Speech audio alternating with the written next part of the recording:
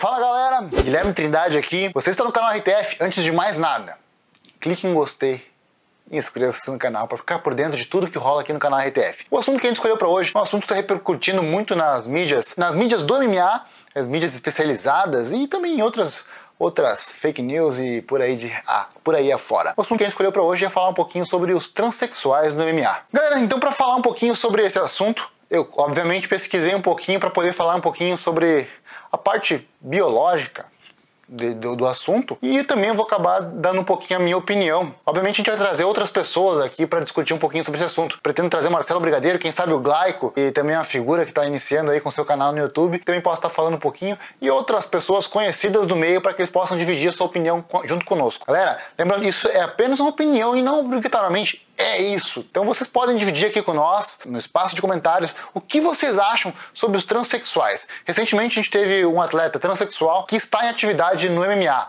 Um homem nasceu num corpo de homem, passou aí a sua infância como um garoto e passou a sua adolescência se transformando num homem.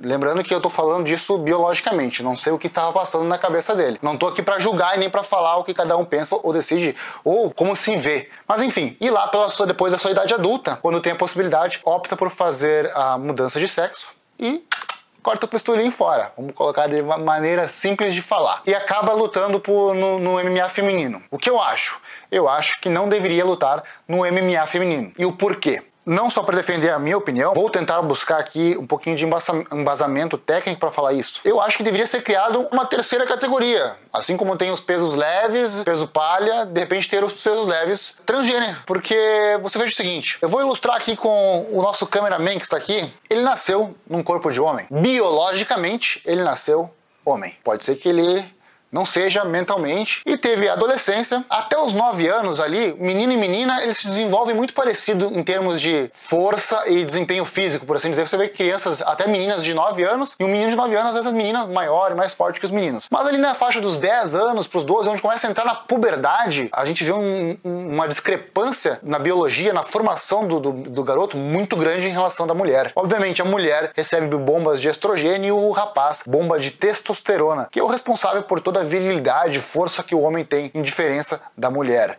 Diferença física, tá, galera? Ali ele vai ter uma densidade óssea maior, uma densidade muscular maior, vai ter explosão maior, vai ter naturalmente um peso maior. Enfim, ele passa por todo esse processo onde a gente conhece como puberdade e desenvolvimento, e lá, né, quando é mais velho, ele consegue e de repente faz a cirurgia, mesmo ele tomando as doses cavalares de, de estrogênio, que dão as características femininas, e toma alguns inibidores de testosterona, não vai apagar o efeito que a testosterona endógena, de quando ele era mais novo, do processo da puberdade, já fez no corpo dele. Então, eu acho que fica um pouco injusto. Seria a mesma coisa aqui. Vamos botar aqui uma forma um pouquinho diferente, só para nós ilustrar uma situação. Nosso cameraman que está aqui atrás, ele se vê como uma mulher, passou ali a, a sua adolescência e Agora de adulto, ele corta o pingolim fora e resolve lutar MMA. Ele é mais forte que uma mulher. Ele é mais alto, mais resistente, tem a densidade. Não, no caso ele não tem, né?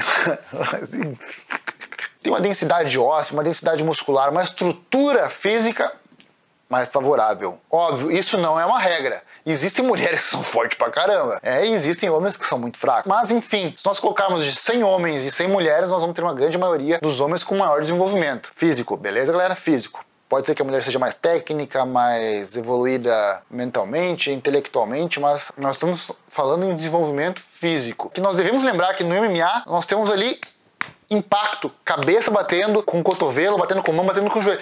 Como eu vi hoje num documentário, temos cérebro balançando. Então, devemos nos apegar a esse, esses detalhes sim. O homem é muito mais forte que a mulher, fisicamente falando. O fato dele estar com essa definição atual, do estado atual dele, não apaga tudo que ele já fez anteriormente. Mas ele está com o corpo de mulher agora. Está com seios, está com quadril, está com cintura fina, mas isso foi um processo que ele fez para mudar a estética dele, ou dela, perdão por usar isso. E, obviamente, toda uma carga hormonal que sim vai deixar ele mais fraco, mas ainda tem toda aquela estrutura muscular e óssea que a gente já falou. Por isso, eu acho que cada um deve ficar no seu quadrado. O homem lutando com o homem, a mulher lutando na categoria feminina e por que não criar essa nova categoria, um feminino transgênero? E por que não, de repente, num segundo momento, as mulheres que também são transgêneros, mas querendo virar masculino, a categoria delas, porque também não estariam em condições de igualdade de lutar contra um homem que nasce, cresce, se desenvolve,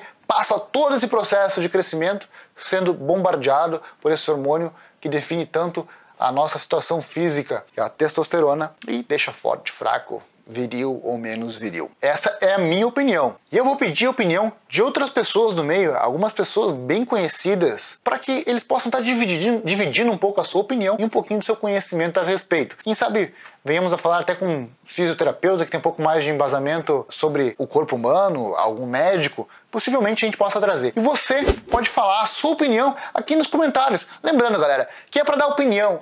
Ninguém vai brigar aqui com ninguém. Vamos dividir e vamos desenvolver essa ideia. Conto com o apoio de vocês para que a gente possa estar discutindo e fazer com que o esporte cresça, indiferente da maneira que cresça de forma saudável. Por hoje eu ficando por aqui e até a próxima.